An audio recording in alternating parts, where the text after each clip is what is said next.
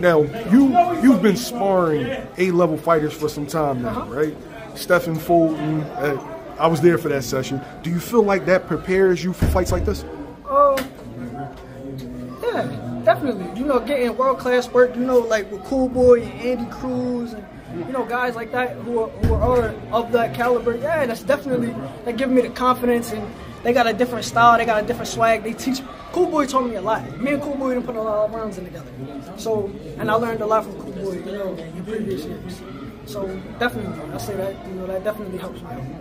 With both guys, that's two completely different styles, contrasting styles. Like, what do you feel like you took from each one of them? Uh, Give me an example, such as such as who? Such as, like, you know, where Cool Boy's a fucking dog, Yeah, right? But then Andy Cruz might be a bit more, you know, measured, a, a bit more calculated, where Scooter's gonna bite down and take it, Oh take yeah, it. you just I mean, it's a part of the game. It's a part of stepping up. You just gotta make them adjustments.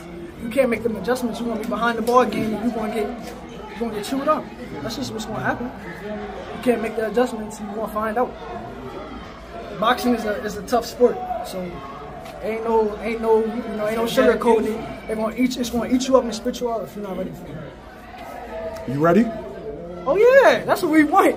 You know my name, I'm duck no action, baby, and I stand by that. You feel me? You feel like this was a statement to the 126 division? Yeah, this is definitely from well, especially around here. This is definitely a statement. I'm, I'm here. I'm here to show everybody I'm really like that, and I'm here to stay. My man.